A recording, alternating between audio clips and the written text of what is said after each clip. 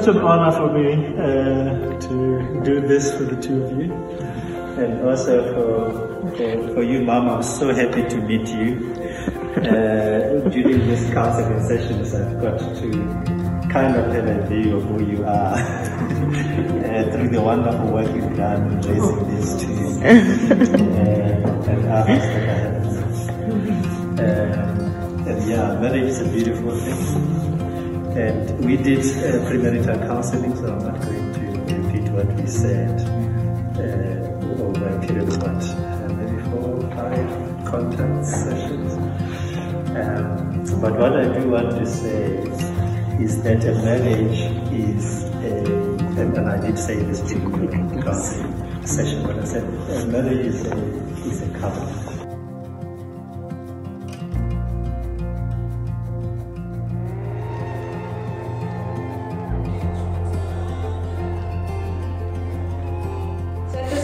2020, while I was planning my New Year's resolutions, after two years of unsuccessful online dating, I thought it was time for me to delete my online profile. So I went on Christian Cafe, and just as I was about to press the delete button, I noticed that there were some messages in my inbox. The third message I read was from this handsome man in Norway. and I thought, what the heck is in Norway?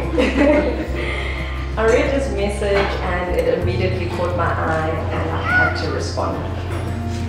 A colleague of mine had the same week recommended Christian coffee for me, and I thought, why not? I created a pro- profile, and on the second day, I found this beautiful lady.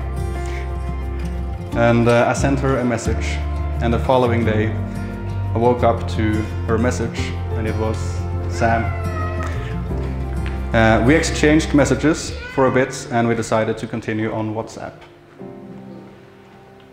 Yeah, and after a week, uh, I thought it was time for us to take it to the next step. um, and the next step was not um, something strange, it was starting to talk to each other on phone. So, um, yeah, we spoke for about an hour the first time, and uh, yeah, the conversation was good. So fast forward to October, we had spent approximately 200 hours talking to each other on WhatsApp video. um, I was starting to fall for this man and I desperately wanted to meet him face to face. But due to COVID 19, restrictions were imposed um, on our countries and he could not come in because our borders were closed. While we were miles apart and separated due to the global pandemic, I knew she was the one, and I asked her to be my girlfriend. Um, and I told her, Giamutanda.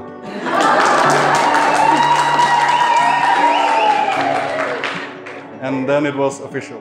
Yeah.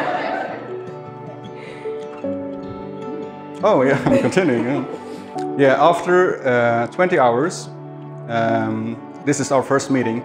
That was last December. After 20 hours of flight, I finally landed in Durban, South Africa. I got my luggage, headed toward arrivals, and there she was.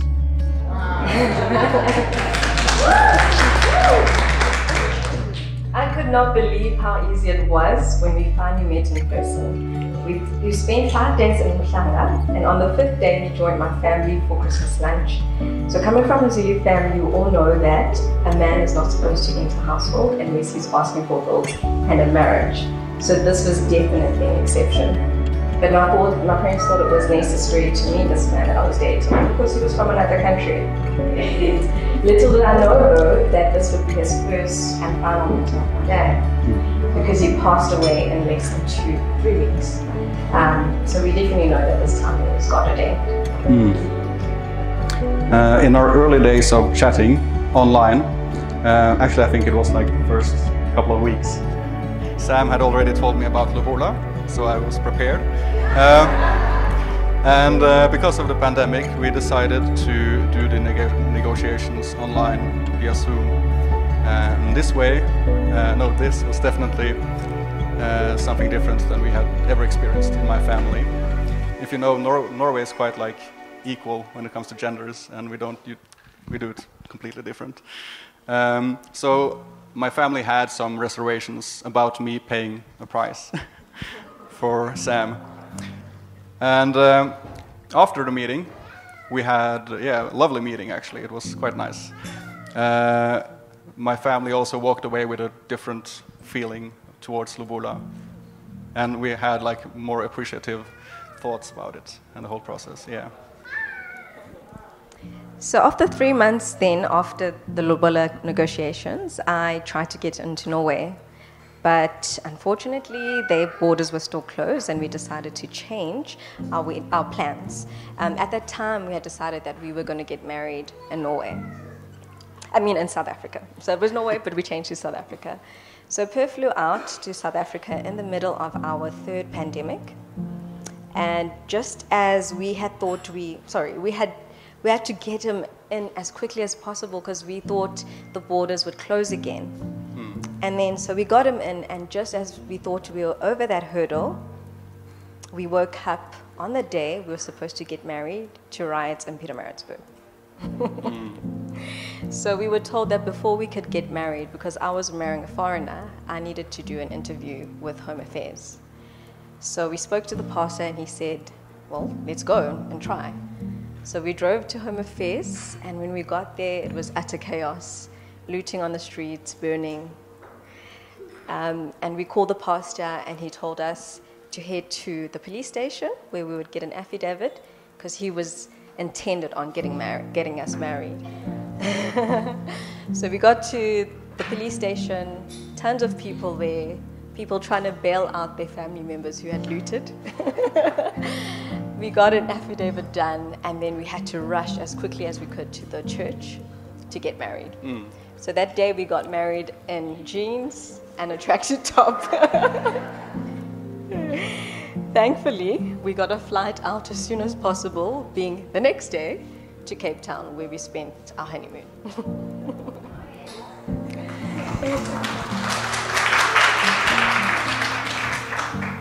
And Sam told me to jump to November now in our trip. Even though we had, like, she was in Norway in October, and I ended up in, hospital and lost my driver license, but that's not exciting enough for Sam. So if you want to know the story, you can tell, like, ask me afterwards.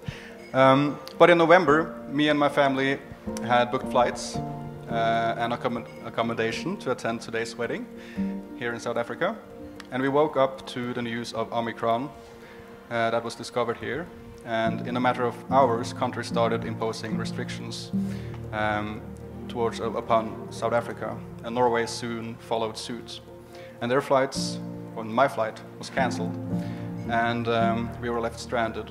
Unfortunately, while I am here today, um, celebrating this day with all of you, um, we had been planning for, um, yeah, we had been planning actually that trip for months, and my family was quite excited to, to come but it didn't work out. And while our journey is a unique one in many ways, it has not been an easy one. And we are thankful that we have made it this far. And we are also thankful for all of you that took the time to come and celebrate with us. So here's to the continuation oh. of our journey. Yes.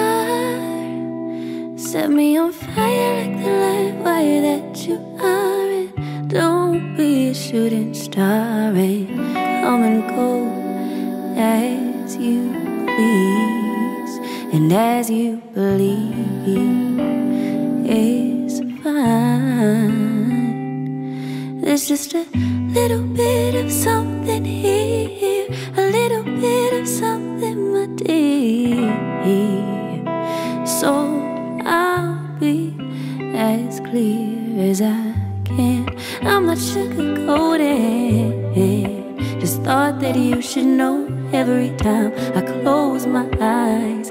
You're the first place that I go in. I'm starting to notice all the reasons why. You're taking me so high, baby, now, baby, now. Parents Sam, as you know, you're about to start a lifetime together, and much has been, much time, resources have been invested into making this day a special day. Choosing the venue, deciding what food to have, uh, what clothes to wear, the wedding invitations, everything. A lot of time and effort. But the preparations for today are not, is not what's most important. What's more important is your preparation for a lifetime of living together. So that one day you too can live, uh, you can say you've lived happily, like the fairy tales say, happily ever after.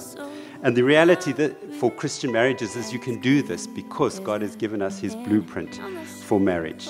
So there will be times when, when, when, when you face difficulties and um, when you are uh, having to adapt to the changes of living in close proximity. I mean, we've got Per who comes from the very north and Sam from the very south, and now they're going to be living together. But God can make that possible and give you a deeply satisfying and enjoyable marriage.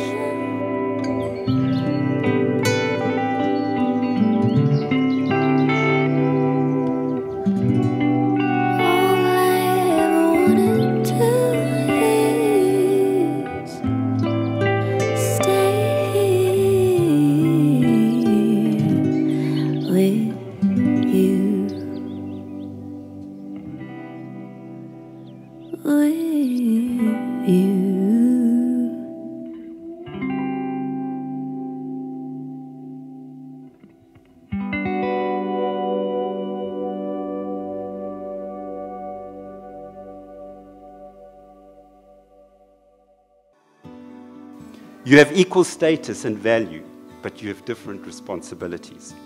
So, Sam, what is the implication of this mystery for you? You need to realize that Per is your head.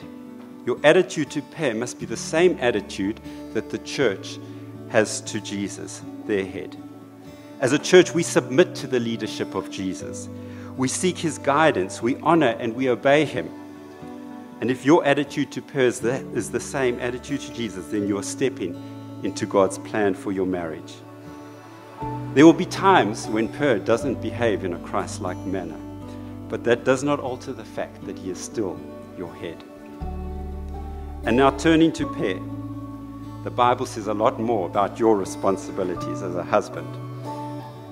The impact of this mystery for you is you need to realize that Sam is your body. And it would appear you take good care of your body. You look strong and healthy. And you spend every time day washing, eating, sleeping, doing all the things you need to stay strong and healthy. And if you treat Sam as your body, then you will discover God's way to live in this marriage. You need to be to Sam what Jesus is to the church. And this can be summed up in one word love. It's a sacrificial love, willing to make any sacrifice, not counting the cost. It's a love that um, is a cleansing love. Paul says that Jesus cleanses his bride by washing her with the word um, in order to present himself one day a radiant bride without stain, wrinkle, or blemish. And today, before you, you have a beautiful, radiant bride. And if you want to know the secret of keeping this beautiful, radiant bride in 10 years, or 20 years, or 50 years, then you need to wash her with the Word of God. When the kids have worn her out, when she is tired and feeling down, pray for her.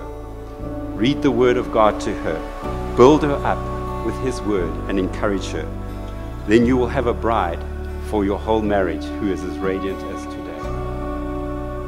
And finally, and in conclusion, Christians, we need to remember that the primary purpose in life is to live our lives for God and to walk in His ways. We need to live our lives so that we give all glory and honor to God. He deserves it all.